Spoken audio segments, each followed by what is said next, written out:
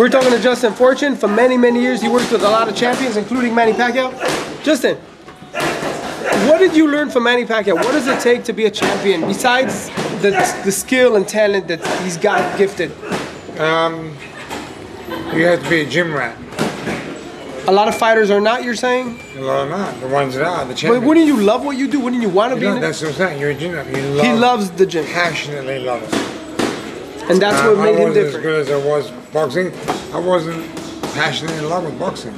Right? Why did you do I, it? I wasn't because I enjoyed it. You like fighting, I like fighting. but you didn't like the training. I like the training. I was- I wasn't in love with it. I have other options. I, I have trained and other options. So it's not, not wasn't my be all the end all. But I did it because I liked it. But for fighters, I loved it. I wasn't in love with it. But for fighters, uh, look, come on, all the champions, Floyd, Mike, everyone, name all, they're gym rats. they love it. Everything about it. it. They love coming to the gym. They, hmm? they can't. They come in early and stay late. They can't. They're like junkies. They can't survive without it. So yeah, That's their high is to be at the gym. So hmm. you say that one made Manny different. And he goes hard from the first second to round 18 or round 26, round 30. He doesn't slow down. he told me years ago. I said, man, we've been doing this for such a long time. I said, he said, I love it. I really love it. I said, all right, fair enough. Do you think? Listen, Floyd's about to do an exhibition in Dubai. Will we ever see Manny Pacquiao do exhibitions? Because he can make a lot of money. Just him and him and Erik Morales, him and president, you want? him and Chavez. How's that going? Do you know? You are up to speed? I think he's uh, he's leading his party. Wow. yeah. Okay. I hope he wins. He's a really nice guy. I think he'll do great for the people. And people say he doesn't have experience. Having experience as a politician is not always a compliment. Politicians right. everywhere. If Are if you're outside, it's probably better. that means that someone owns He's you. been in politics now. He's been in politics now for close to ten years. Correct. Um, so he's not, he's not, you know, He's not a stranger, not correct. stranger. He knows how it works. He knows what's what. And he loves people. I'm sure you've seen him. Listen, his fucking country. you've seen him give people money in the street. for first hand. So you know, he just that's him. There's someone with a passion that actually really loves his country and wants to do good for his country. Um, you know what I mean? Do you think? Let me tell you, that's so rare in a politician. Correct. No, no, because they're all business people or shady or whatever. But do you think that after in a year or two, or five years or ten years, he will get the full respect that he deserves? Because right now, some people love him to death and he's amazing. I'm a big supporter of his. But some people don't give him his recognition. They, they always love you when you're gone. They don't love you when you're in the sport. I would hope well, it wouldn't take that long to get recognition. Only eight division champion in boxing. yeah. So, I mean, for everyone, he never he never sidestepped anybody. Um, so you know, I don't I don't think take that long. The haters or you know, no, the people will know.